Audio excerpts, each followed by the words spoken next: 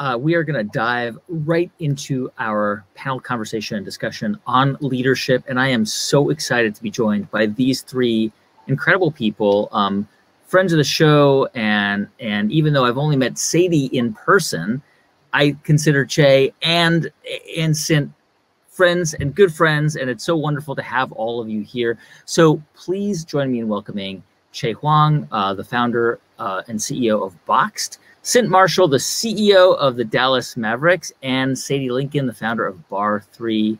Welcome, welcome to all of you. Awesome, it's good to be here, Guy. How you doing? Thanks for having us. I am so excited to have all, all of you here with me. I just I, it would, would be slightly better if we were on stage together, but that's going to happen in the future. Let me let me start by asking all of you uh, this question, which is, can you do you remember a moment in, over the course of your career when you began to form your understanding of what a leader is and and how how do you define that today? Let me start let me start with you Cynt. yes and it was actually very early uh, in my career when i started out supervising uh, operators way back in the day guy. You know i started out at at&t uh, Pacific Bell at the time in, in san francisco and I remember the moment when I had these 10 uh, evening operators ask me uh, to, you know, change some of our policies because it was back in the day when they had to even get permission to go uh, take a break or to go to the restroom. And I remember coming up with the plan, listening to them that night and, you know, learning the process and, you know, what they wanted done. And then we came up with the plan and, you know, we worked it, worked it all out I took it to my boss. She was hesitant at first, but then she let us do it. Uh, it was very risky, but we ended up uh, being very successful, and our results went from the bottom of the state to the top of the state. Uh, but it was all because I listened to these people. Uh, I really understood what they were asking me to do. Um, I had a lot of empathy for them and just kind of took the risk. I was brand new. I mean, I was brand new. I was just a few months into my job. I was 21 years old. And that's when I kind of go by these three L's. That my job as a leader uh, is to listen to the people, learn from the people, and love the people. Uh, it really goes back that far. That's what I actually did uh, then. So I remember the moment very well. Chieh, how about you? When do you when did you begin to form an, your understanding of what it means to be a leader, and and, and how do you define that? Yeah, I, I was on the other side of that, uh, meaning that uh, I, I was being led, and so to this moment, that that was my real uh, when I was a first year at a law firm, uh, that was my real kind of uh, moment when uh, I, I, realized what it meant to be a leader. And so you know, we had just pulled an all nighter uh, for uh, some transaction we were working on. So here I was, 20 something years old, hadn't slept in like, you know, 27, mm-hmm. 30 hours. And so sitting there trying to stare at documents and the lead partner that was on that transaction came, came down to where the lowly first year sat and kind of put his hand on our shoulders and said, you know, how are you guys holding up? Um, you know, you guys look like you could use some coffee and hot chocolate and breakfast. And uh, and went downstairs, took our order, and went down just to uh, uh, to the coffee shop and and brought it back to us. And and I just at that moment, maybe it was me being delirious because I was awake for so long, but um, I just remember, wow, like such a small thing, that empathy uh, that someone showed as a leader meant so much mm. to me being led, and, and that to this day, I, I feel like that pervades uh, my leadership style. Sadie, how about you? My first instinct is to answer, and I feel like this is cheating, but it's true. Um, I'm still learning what it is to be a leader. I feel like for me, leadership is a practice, not a destination for sure. I learn every day what it is to be a leader. Uh, and I would say that one of the things that's helped me immensely as a leader is to learn more about myself and to learn where my inherent strength lies and then to stand up for that and support it in the best way I know possible. And that's most of the time by surrounding myself with people who fill kind of where I miss. Yeah. And also respect where I'm strong. That combination has helped me be a leader. I love that. Um, Chieh, let me let me come back to you. Um, you founded Boxed in 2013, and by the way, if you haven't heard Chieh's episode of How I Built This or any one on this screen, you've got to go back and listen to them because they're all incredible stories. Um, you founded Boxed in 2013. It's it's for for those who don't know, it's an online retailer that specializes in in in in packaged goods. It's sort of like um, Costco, but it comes to your door, and it, it's a really cool company. Um, when you launched it, you were doing it out of like a garage in New Jersey, right? And and of course, you did everything at first. You you were you were packing the boxes, you were taping them shut. It was physical work. It was hard work, but you I remember you telling me how much you loved it. But of course, as the company grew and now you're a much bigger company, you had to start to manage the people who were doing that work that you had been doing. What how did you move from worker to leader? It was really difficult uh, for years. Even a- after we had raised a lot of money and we had like a corporate office environment, I was still. Uh, you could find me in my spare time just packing boxes uh, on on the floor. And even today, people joke whenever I walk the floor, they're like, you know, you can't pack a box anymore. And and I'm always warning them, like, don't let me get on the line. I'll show you guys. But the reality is, I'd probably be the slowest packer out there today. Um, but uh, it was a forced kind of moment for us. And so um, uh, I remember an investor had uh, called me and, and said, hey, you know, um, some of the other folks said you're still packing uh, boxes. And, and I was like, yeah, I, thought it was a positive. I was like, I, I like to be with the troops. I'm still on the front line. I'm doing this every single day. Um, but at that, but at that moment, the investor basically told me that um, you need to stop that because for every moment you are there packing a box, you're actually doing the company a disservice because you've graduated past that. You now have hundreds of people in your charge and you need to do the things that they can't do themselves and that they that you're in the best position to do and that's lead the company so whether it's setting strategy whether it's raising more money whether it's uh, working on marketing those are the things that you need to focus on for you to really benefit those uh, on the front lines. And and that really stuck with me. And so at that moment, I felt like I graduated out of kind of the physical world of, of picking and packing boxes. Yeah. Sadie, when you started Barre3, and for those of, of you who are not familiar with Barre3, it's a um, it's it's a, uh, a an exercise studio. It's a it's a, a form of exercise combining yoga and Pilates and um, a lot of core work. It's a really cool program. Um, and Sadie, you founded it in Portland, Oregon, um, but you actually decided to expand pretty quickly, and then you brought in other um, owners, franchise owners, who you had to kind of train in in in the in the culture of Barre3. They were studio owners. How, how, did you have? I mean, I know you you talk about. I love that you talk about leadership as an ongoing process. I think that's exactly right. But when you started out right? I mean, I mean, people probably look to you for guidance. How did you start to figure out how to how to do that? How to present as a leader? I didn't I didn't consciously think, okay, how do how am I going to be a leader? I showed up true every single day. I think I attracted people who were already interested in what we were doing and had um, a, a, deep understanding of Barre3 um, before I really needed to train them. And so it was, for me, it was more of an investigation about what do you see in Barre3? Like, how do you think this could grow? What would this look like in your community in Bend, Oregon, or Seattle, or, or Manila? You know, how would Barre3 work in your community and in your life? And those kinds of questions um, i think for one thing the burden was lifted from my shoulders of having all the answers but also it ignited a culture of collaboration and ownership literally and figuratively and i think that's why um, you know we were able to rise pretty quickly Cynt, before i ask you any questions about leadership i need to wish you good luck because you are in los angeles shortly after our conference, you are the president of the Dallas Mavericks, the CEO of the Dallas Mavericks. They are playing the Clippers tonight in game two of the NBA playoffs. Yes. And I hope I'm not offending any Clippers fans here, but you're with me, Cynt. And actually, my dad is going to, I'm a shout out to my dad. He's going to be at the game tonight rooting for the Clippers. But Cynt, you're with me. So I, I am wishing you good luck tonight. You're already one game up. Thank you. Thank you. I'm so excited. And it's just good to be out, to be in the vibe. Uh, I'm glad your dad is coming out tonight. I'm glad uh, the Clippers have opened up the arena and they're getting some fans back in there. We'll be doing the same thing Friday, uh, expanding our capacity. So it's just good, really, to be out and to be a part of an industry that's helping to bring uh, the country back. So thank you for wishing us luck. Uh, it's exciting. Hope to leave here with the victory tonight. All right. Well, Cynt, when you were you were on our show last year, um, and you, there was so much incredible feedback from your episode.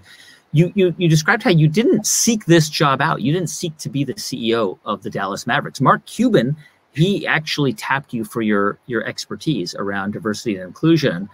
You'd run your own consulting company. Um, you worked at AT and T for many years, um, and the Mavs were having some serious problems with culture when you joined them about three years ago. And, and Mark asked you to kind of turn things around. So you were coming into a culture that already needed changing, which I can't even begin to imagine what yes. a challenge that was. Yes. It is it is not easy when you walk in, you know, you're already starting a new job, you know, new people and all that.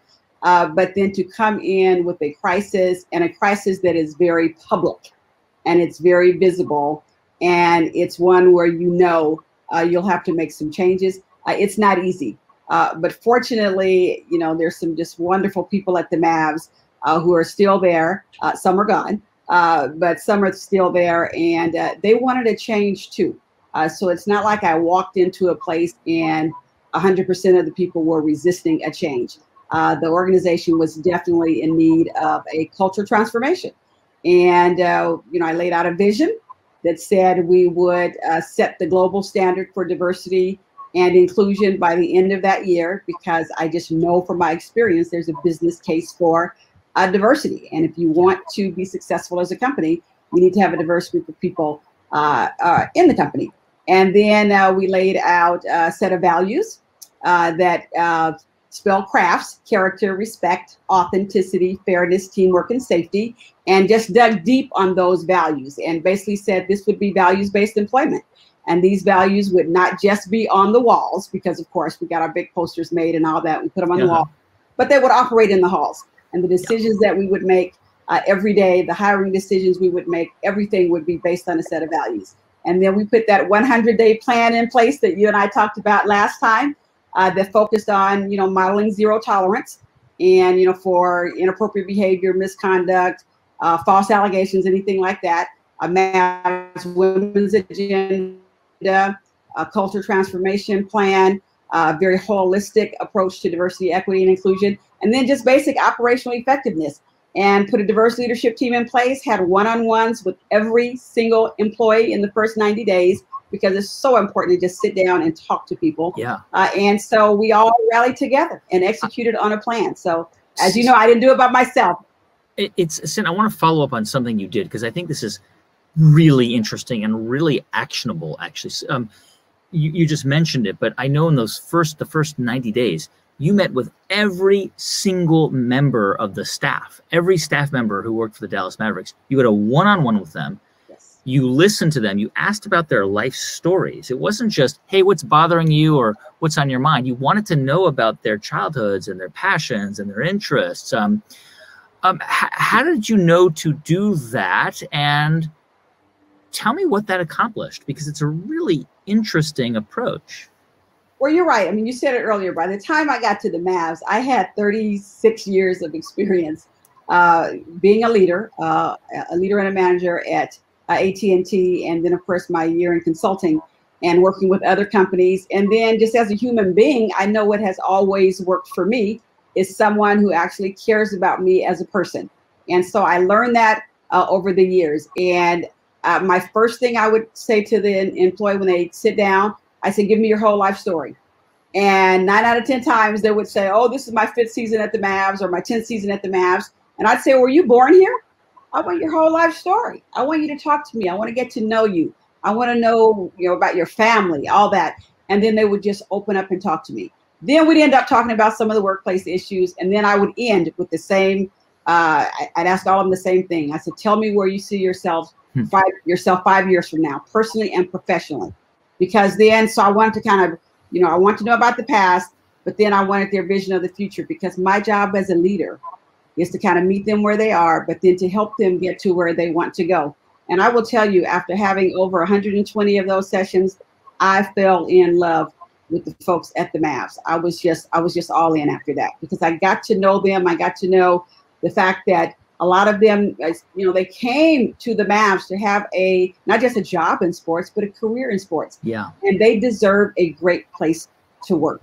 And so I was all in after spending you know all that time with them. Um, I I, oh, I, I love that yes. by the way. So uh, you know, um, when when when I interview folks, that's the question I ask. It's like, tell me about your life. Tell me about you. What's the story of you? Mm-hmm. But don't say anything on your resume, and you'd be shocked that like there's usually a five ten second kind of silence there, a, a moment of silence where folks are like, wait, wait, uh, just me, you know, like, and but where do you start? Like when you grew up or siblings. And so I love that you did that. And I could only imagine after hearing 120 different stories, that connection that you have with employees, it's, it must have been really special. And you're right. They were yeah. so surprised because, you know, you want to get to know them as people. Uh, and I always say the person who gets up out of bed in the morning, uh, that person, the issues they have, the past they have, the background, just all of that. That's the person you actually want to walk into your doors every day. I don't want the employee walking in. I want that person to walk in. All the creativity, the diversity, all that. And then our job as leaders is to meet them where they are. You want that person, not the employee. You know, I love that so much because in the past it used to be that, that there was a truism, which was check your baggage or your, your your personal life at the door before you walk in your approach is completely the opposite. It's like, no, bring it with you. We, we that is who you are, and we are going to create a space where you can you can feel not only welcome, but but but included and and authentic and comfortable. Our hashtag, we have hashtags for all of our values, and our hashtag for authenticity is hashtag do you. We want you to do you when you walk in that door because we benefit from that. Because mm-hmm. we take all that creativity and all those differences and all that, and we create something better for our fans and for our, our workplace. Uh, we want people to be themselves when they walk in our doors. It's so awesome. Sadie, you do a version of this too. You you um you since you launch you've launched barre3 you hold regular leadership circles and you've done this at the how i built this summit and i've been able to see them and they are so powerful people walk out of those leadership circles transformed um, where you you openly share your fears and joy and concerns about your li- things about your life and you know to some people that might sound touchy feely or uh, but but at the same time um, you know, it it it is incredibly powerful. What do you? I mean, let let me start by saying, not everybody wants to share that way, right? Not everybody wants to do that, but I wonder when you do hold these leadership circles, what what kind of information comes out that enables you to to do what you do better, to lead more uh, effectively? Yeah, well, I like that you brought up that not everybody wants to share like that. And I think that's probably the most important thing about Circle, Leadership Circle, is permission to pass. The only role in Circle is that everyone's there and listening and connected. Uh, and then, I mean, we've actually have pr- had profound conversations like, what's your favorite item at Trader Joe's? I mean, sometimes like a really simple conversation. Orange chicken. right. Everybody has one, right? Everyone has one. Um, so, but it's, you know, and it sounds like an icebreaker, but we add a little more structure to it. And it's a practice of being seen and heard. And, you know, what was once intuitive community now I believe needs to be intentional. And holding space with structure around circle leadership is a way to fight lonely and a way for every single person at the table to have a voice. Often, when we get around a table in a work setting, there are few people that have a voice, and and usually the same kind of people who don't. And it's a way for everybody to have a voice in a structured way. And um, you know, I do. I think it's so beautiful that both of my panel mates here talk to their employees on a soulful level about their life story because I know that that's what we're all craving. I know that, you know, I think it's sad that we feel lonely at work. I think it's sad that we all feel like imposters um, and that we have to leave our true self behind and show up with our power suits on and be our work self. Um, I don't think that helps build culture. I don't think that helps build innovation. I don't think it helps us problem solve. um, you know, that old way of thinking in the workplace doesn't evolve us. It doesn't move us forward. Yeah. Um, and there are many ways to to bring out people's true self in the workplace. I think just having that intention is is a really powerful start. I'm curious for for people watching, right? They may they may be thinking, and I don't want to, you know, I don't want to speculate, but they may be thinking, look, this this is going to be hard to implement in my in my environment, in my work environment, because it could be awkward or it could be challenging. But I, I have to say, it is incredibly powerful. We we've done versions of this on our team, um, and you know, Cynt, you do a version of this in your own way, and and Chieh, you do a version of this. But if somebody wanted to convene some kind of session where everybody would feel comfortable and safe, um, how would you suggest they start? Okay, I'll, I'll just lead out on that. Please. Uh, and, and I think there are a few different ways to start. Uh, I think you start small. Uh, it's sometimes it's better to start with uh, kind of individual conversations because sometimes people are better one on one. Sometimes they're a little fearful in front of uh, other people, and so you can pick a topic and say, okay, you know, we're going to be talking about this this week, or we're going to be talking about wellness, or May is Mental uh, Health Awareness Month, so we want to talk about that and start to engage people one on one we have uh, small circles. We have things called experiences of understanding. Uh, so when something happens, uh, like hate that's rising in our uh, Asian American Pacific Islander community, or today is the one year anniversary of the death of George Floyd, uh, we have small circles that talk about those kind of issues, how they're feeling, what's going on there. And you start individual, then smaller groups, and then before you know it, you have a huddle.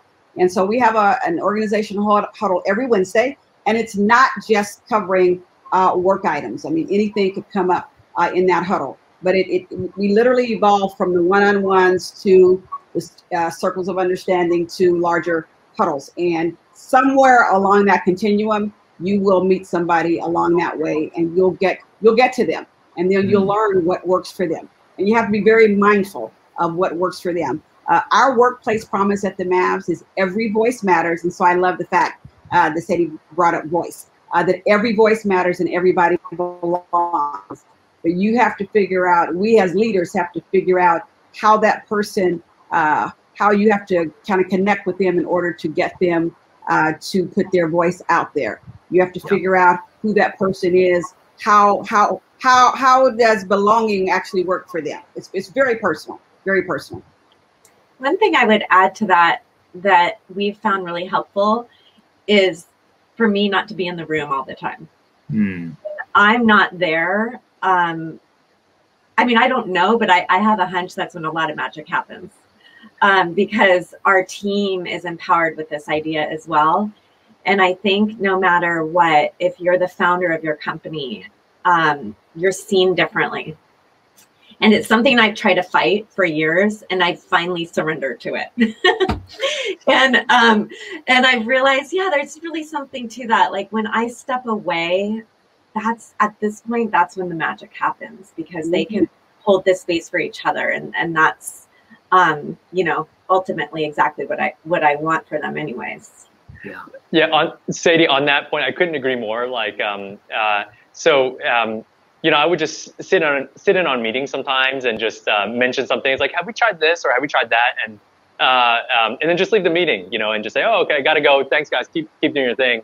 And then one day, one of our co-founders like very forcefully grabbed me in the hallway after I left. he's like, "Do you know what you what you're doing?" And I'm like, "What? I just dropped down, just trying to be nice." But um, sometimes, as a co-founder or as a CEO, as a leader, sometimes by just saying a few things, the entire organization tries to pivot around kind of what you just said. And yeah. so re- realizing that listen, like I'm just trying to help the team. And sometimes by helping the team is just sitting back or not being in the meeting. That's something that's important as well. And then something that I love about what Cynt was saying eh, eh, about leadership and starting small. Um, uh, one thing I, I would just add to that is that like sometimes leadership is about being the first to be vulnerable, not just charging through the door, but uh, in a small group like that, um, uh, to be vulnerable and say, hey guys, like this is how I feel about it uh, in a vulnerable way. Um, and I've often found that more more likely than not, everyone else follows that lead and says, okay, this is not one of those meetings where I have to put this sheen or this facade up. Mm. But this is one of those meetings that uh, we're really going to break through here. And so I- have had good luck um, being vulnerable as well. I, I want to ask, I want to jump off that that point, Chieh, because as as you know, as all of you know, I ask guests on my show to surrender, to surrender to the process, and I ask them to to be as vulnerable as they're willing to be. Um, in part because I think that it deepens their connection with our, our audience and our listeners. Um, how how comfortable? I mean, did did it was it challenging for you all as leaders to learn how to show vulnerability? Since it was it, for for me, it got to a point where I just decided I was better off being me and being vulnerable, and I just couldn't play a game anymore. And it actually came when I got a big promotion in our company. And I got this laundry list of things they wanted me to change, just just everything. And it just wasn't me. And I just finally said, I got to be me. Uh, you can keep it. Now it turned out I ended up getting it anyway. Uh, but I, I got to be me, and I got to start telling my story. And so I started telling my story about growing up in the projects, things that happened, domestic violence. I talked about miscarriages. I mean, you name it. I, my daughter who died. I just started telling stories and talking about how I got through things in my life. And and it just actually made me a better leader. But the the, the side benefit, it made people talk to me more. Hmm. And it just created a culture that was just very authentic. It's not why I did it. I actually did it because I was just tired of faking it. And it had a great impact. And it taught me that people really do want to be themselves and they will connect with you if they know you are real and they know that you are vulnerable. Sadie, you had, um, and we talked about this very openly on the show. I mean, given that you run a, a business, a fitness business, I mean, the fitness industry got hit so hard over the last 15 months. Um, and you had to be very real with your team and with your franchise owners. I mean, you had to basically level with them and explain what was going on. And that that must have been really hard. Yeah. Um, when it about a year ago, I took a sabbatical, which uh, is kind of counterintuitive, but I just knew I needed to step away and um, take a deep breath and um, learn about Black Lives Matter and myself. It was a huge reckoning moment for me. And at first, our owners were upset that I left. It was like, how could you leave leave us right now? Right. And that is a very real, um, you know, the optics around that probably weren't great. And I had to really honor that and recognize that. And then, so we got on an all company call, and I told them that, you know, I learned in that moment the importance of my mental health and that in order for me to lead and be brave and to get uncomfortable with them around equity, diversity, and inclusion, around the chaotic climate we are in, you know, losing 60% of our revenue overnight, um, I had to get well. And that it, I was, I invite, I said, I hope this is an invitation for you to do the same thing and to not feel like you have to hold it together all the time. Um, the the it was you know i and i did have guilt around it. I had shame around it.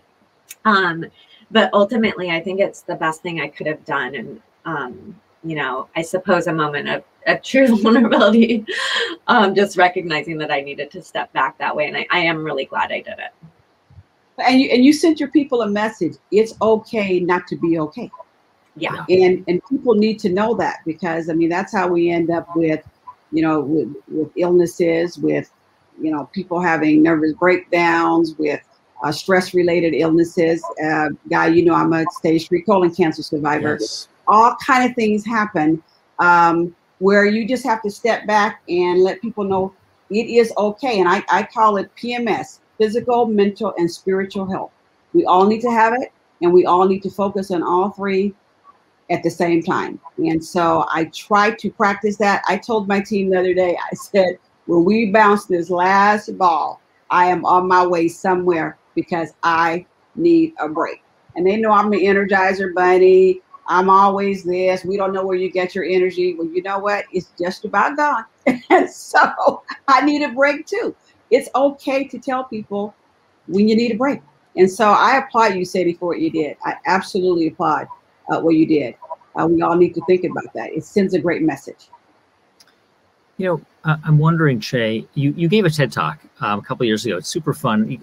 If you if you haven't seen this TED talk, you should check it out. Um, it was uh, at, at an event in Toronto, and uh, you talked about how you learned to stop being a micromanager, which is really understandable, right? It's your baby. You started this company. Sadie, you started your company. Cynt, you are so experienced as a leader and a manager um, but we all know that micromanaging it can be a human instinct, but it can also be an incredibly destructive instinct that that can hinder our own personal growth and the growth of the business, and and and also the the the, the, happiness, and, the, and it can damage the culture.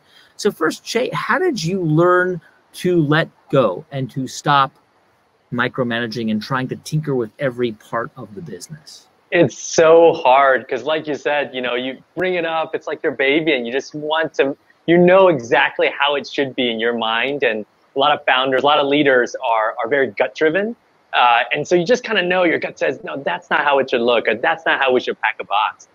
But if you step back and actually think about it rationally, um, no one in the history of humankind has ever said i love to be micromanaged. And my best boss you know how i got the most production was when my, my boss micromanaged me to the point that i really got it. That's never been said in humankind history you know in human history. Uh, and then also on the flip side you know it's so counterintuitive that we go out and try to hire these folks from the best schools uh, from the best uh, you know with the best experience only to try to tell them exactly what to do and how to do it and so when you think about it that way, like your rational self really tells you that micromanaging just is not the best way to get the most production out of folks. But it's really distancing yourself for once away from your gut instinct of just wanting it the right way uh, and thinking about it for a second that you know micromanaging just doesn't make sense no matter how you how you break it down. You know, I'm curious about this, and I, and I want to kind of push back for a moment. And, and Cynt, I want to pose this question to you because mm-hmm. I think I have to imagine this is something all leaders struggle with. Sometimes you have to be the decider. You have to make a decision, and sometimes you're going to make it, oftentimes, you're going to make a decision that not everybody is aligned with, that will upset some people, but but you've got to make that decision and it creates friction. Yes. And and I, and, and it happens. I, I, I do it often uh, because we but the, the the the foundation of it all for me is trust that if you have a foundation of trust and it takes a while to build it it takes a while for people to understand everybody's intentions but once you build that foundation of trust when you make that decision people know that it's in the best interest of uh, the organization or when you're micromanaging if you have that foundation of trust the response uh, will be, oh, you just can't help yourself. Okay. And, and they can tolerate you. If they don't trust you, then they think you don't trust them. Why are you micromanaging? Why are you in my business? All that. Uh, because we, I mean, we all micromanage just to some degree, uh, but it's the foundation of trust. And, and that's what we are really trying to build. We're going to focus on that a lot in the off season. I just, I just feel like there's a need to, we've been kind of away and I've, I've seen some things uh, develop uh, because we want to be in a place where uh, you, you can deal with that friction uh, and, and it really does go back to trust. I make decisions almost every day where somebody is not happy, and you have to do what's in the best interest of your customers, your employees, and people understand that. And, and for the most part, I will say in our environment, people understand that. I've been on some calls with the leaders. They'll call me and say, Cynt, we need you to kind of referee something. You, going to have to make the decision. And we'll get on, you know, Microsoft Teams and they're on the screen and they'll both tell, and these are my leaders who report to me, and they'll tell their side of the story and they'll say, okay, Cynt, we need you to decide this. That's actually very healthy, I think. And nobody's mad when it's when it's all over because they've worked through it, their teams have worked through it, and they decided I needed to work through it and I need to come up with the answer. And that's okay. They trust me, I trust them. For all of you, I mean, you're all so experienced you've all you're so invested in in where you are working and what you've created whether it's a culture or a business how do you stay how do you keep yourself honest how do you make sure that the that the team around you can tell you when you you're not doing a good job or when you're making a mistake. I mean, especially when you are a leader, you have power and, and or you're perceived to have power, whether you don't see it yourself, whether or not you see it yourself. So Cynt, let me start with you. How do you how do you keep yourself um, in check? Well, first of all, uh, well, my husband, he, he helps to keep me in check because I will ask him. I mean, sometimes I'll run something by him and I'll say, what do you think about that? He said, you need to give them an opportunity to tell you kind of what they're really thinking. People might be holding back. So he, he's very good that way if I run something by him. Uh, I also try to make sure I have a variety of people around our leadership team table and around their tables and people who will not hesitate to tell us when we're off. And I will ask the question. I mean, I will ask the question. I, I, I had on the call today. I had some some thoughts about uh, the vaccine and some things we need to do. I said, what do you guys think about that? And if they don't readily come out, I'll just start calling on them one by one. I said, talk to me. I mean, talk to me. I want you guys to tell me because I could be off here. Let's talk about this. And then sometime it'll take a minute and then everybody starts talking. And then we'll just say, okay, let's mix it all up and we'll come back and revisit them. I mean, revisit this. I think we have to invite it and then we have to make sure that uh, when people have spoken up, that there's no retaliation and no consequences because that's that's no negative consequences because that's the easiest way uh, to shut it down. And so yeah. I actually will lift up the people who have challenged us, who have brought something to our attention. I will lift them up publicly and thank them uh, for doing that, and thanking and thank them for getting us back on course, and thank them uh, for challenging me. Sadie, how about you?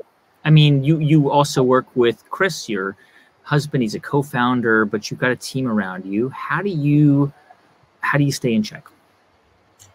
Well, I've learned that the most rich and rewarding professional relationships are one where we can establish safe space to check each other, mutually, respectfully do it. And I invite that, and I've learned to invite it often uh, because when things build up, that's when it when when it can get bad, um, and that's when we do lose trust, um, you know, as colleagues. I do think that um, it's important to realize in my role that I no one can fire me. I'm the founder. I have complete ownership of Barre3. It's my job to kind of fire myself. If if I'm not taking the time to investigate where do I need to improve, um, you know, did I show up with our core values today? Um, am I asking the right questions? You know, oh, I'm falling back into that pattern where I'm interrupting. I'm going to work on that. You know, I have a dialogue with myself because I know no one can fire me. I have to fire myself in all those moments. And my team knows that. I talk about this openly with them. Um, and, and again, I think the most rewarding relationships are the ones where we'll have a hearty argument and a, you know, a battle about something and then laugh it off later and, and move on. Chieh, um, I, I am curious because a, a, question, and I want I want to ask all of you this question. We are often asked by our listeners for guidance and help when it comes to probably the hardest thing a leader has to do, which is to acknowledge that maybe a person they hired is not the right pick, um, and maybe they have to let that person go, and that happens. It happens very. It happens in, in the earliest phases of a startup it can happen well into the startup. It can happen years into the business growing and scaling, where you really, it's time to let somebody go. It's very, very hard. Um, I have to imagine all three of you have been through that. Um, Chieh, how do you? Is there a good way? Is there is there a way? A what's your advice about letting people go? You know, I, I um, I'd have to say I've learned the hard way uh, you know, it's probably a skill set that, uh, at, at, least for me and and um, some of the folks I've talked to, it's not it's not innate in me to be ruthless. And the minute I, I hear something I don't like, it's um, you know that I have a button under my table where that person falls through the floor, and you know uh, we're, we're going to replace the VP of whatever, you know. Um, so it's not in my my soul to do that, but I've learned the hard way that that it's unhealthy. Uh, keeping folks too long and, and thinking that oh you know just another month or just another quarter, and, and I really feel like they're going to be able to turn the corner. I, you know, uh, often more time, more often than not, that that just never happens. And I think what I've learned is that, um, and for those folks uh, uh, uh watching and listening out there, Um, uh, so know that I've learned the hard way, and if you ask leaders all around the country and the world, most likely they'll say the same thing: is that uh, if anything, like keeping folks too long is really bad, not only for the company but also for that employee or for that kind of team member. Um, you would think you're doing them a favor by keeping them employed or that by trying to reform them and by trying to fix the situation. But eventually, what happens is that you're beginning to you'll, you'll begin to stunt their career.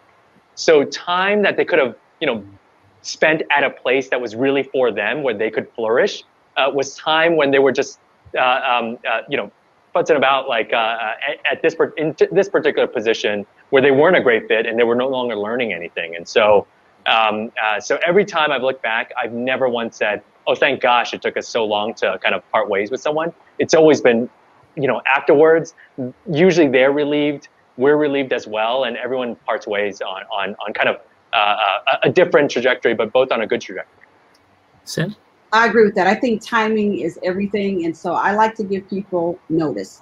I mean, the minute I start to feel like it's not a good match, and it's not just a feeling, you have to have data to back it up. Uh, so the, the, minute I have that data and I have that feeling, I like to sit down with them and say, uh, this doesn't seem like it's a good match. And let me tell you where I'm struggling, what, what I'm seeing and where I'm struggling. So it's not even about them at that point. It's about me and the, the disconnect that I'm having. And so we start to talk through that. And then I like to set out some timelines. And if it if it's 90 days, let's take a look at this. Let's continue to check in because part of giving that notice is uh, you want them to really start thinking about it too. Because if they need to go somewhere else, you want to give them time to get another job and and and and start that process because you know people you know need, need you know they they need work, but sometimes that is not a good fit where they are right then. So I like to give notice. And then the last thing I like to do is ask them when it's time to go, how do you want to do this? I want to do it in a way that that works for them. So how do you want to do this? You know, you want to come in later and get your stuff. Uh, you know, let's come up with some lines. What do we want to tell people? I want people to leave with dignity, um, and and and just kind of plan it out. And you can't take too long because they when the, once you know it's not a good fit, usually they know it's not a good fit, yeah. and everybody else knows that too. And so then you're sending a bad message to your folks if you're tolerating uh, something like that. Now that's if it's not bad behavior. If it's bad behavior, misconduct, and ethical violation, code of conduct violation, that's immediate. Yeah. But in the in the usually it's not a good fit. Sadie? I completely agree with um, both responses. I would add that um, moving upstream take a while to hire. I, I take it very seriously when we hire someone um, that, you know, they will be set up for boundless success, um, you know, really thrive in our culture. Um, not necessarily someone who's um, needs Barre3 and just is like a beloved client, for example, although that's amazing, as long as they're also going to really add value to Barre3. I think for a while there, I was trending towards um, hiring people because they were so endeared to the brand, and and in the in the long view, that didn't really serve them. Um, you know, finding people who had the skill, who maybe questioned what we were doing and wanted to move us forward, um, tends to be the team members who stay the longest, who are the happiest, and have a longer life with us. The other the other um, quote I have from my friend Kim Malek um, that I love is "Let them outgrow me." You know, have them let let this be an experience for them where they can build their skills, build their confidence, and then outgrow and move on and be really really okay with that. I love that. Um, this year, this past year, has been incredibly challenging for leaders, in part because of remote work. I mean, all of you have to some extent, I know Chieh, you you were going in a lot, but to some extent, you've had to lead via Zoom or or via video link. Um, and and we've all heard uh, stories all across the country of how disruptive that's been. Um, I think it's also accelerated a desire, a demand, and I think rightfully so, among employees um, to to have more say in in you know in their work environments, um, to have more power in how work in their lives are structured. What have you learned this past year trying to lead through video, trying to maintain morale, trying to be a great leader I mean, it's com- a completely new environment. So what what did you learn that you think will make you a better leader in a post truly post pandemic environment? Yeah, I, I love that. I came up with something. I can't remember if we talked about it last time, and this was probably a good uh, month or two into the pandemic, and I realized that my priorities as a leader had changed, and the things that I was spending my time on um, kind of shifted.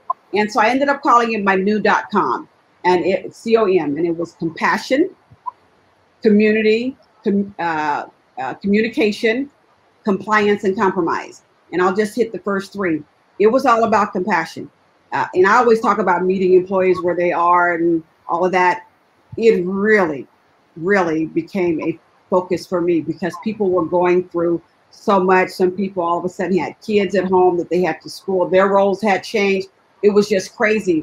And so I realized part of what I needed to do was have a lot of compassion for people in their individual circumstances and demonstrate that and then try to help. Uh, the same with the uh, community. Uh, even though we weren't playing the game of basketball, I told my team we're playing the game of life with people and with each other. And the sense of community has to elevate. and then our communication had to go to new heights. Uh, we thought we were great communicators, but now all of a sudden we, we are remote. So, what kind of structure do we actually need to put in place to help us uh, communicate on a regular basis? And what kind of things do we naturally communicate on in the office, but now we need to set up that structure. And I had to be very diligent about that. Our leadership team had to be very diligent about that. And so we're going to carry that into uh, into kind of this new world. The things that we have put in place around those things, we're going to carry that forward. Um, the the the really the lesson that I learned was really that um, if you think about um, kind of uh, everyone as, as, being a battery, um, you know, battery A, battery B, both equally as effective once you put it into the camera or the machine.